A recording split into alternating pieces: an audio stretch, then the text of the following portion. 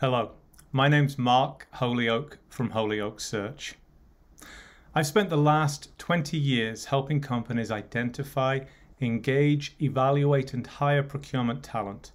And armed with this knowledge, I've put together a series of short videos to help procurement professionals get hired in the current market.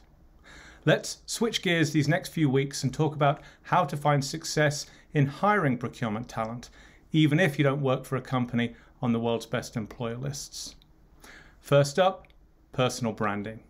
Yes, we've discussed this before within the context of the job search, but the importance of cultivating and promoting your brand just as readily to prospective candidates cannot be overstated. Whether you're a hiring manager trying to fill a single role or a CPO looking to create a broader, sustainable inbound talent acquisition model for the future. Your brand is a direct reflection of your experience and knowledge, as well as what you're passionate about and what you stand for. And personal branding will help radically build your industry reputation.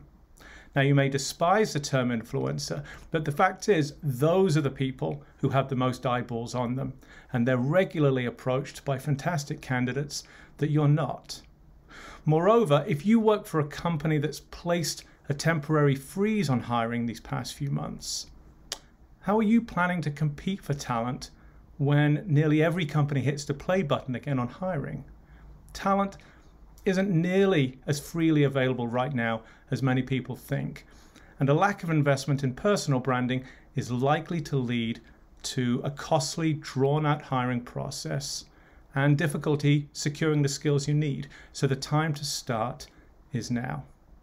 Now take a look at an earlier video in the series linked in the comments below and learn how to get started.